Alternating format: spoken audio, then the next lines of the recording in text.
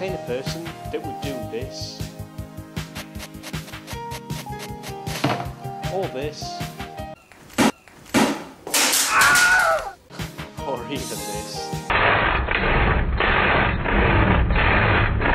Still hot slow. Did you know that if you dispose of your old phones, and indeed all unwanted electronics, in the correct way, they could go on to create fantastic new products, like the pillow phone.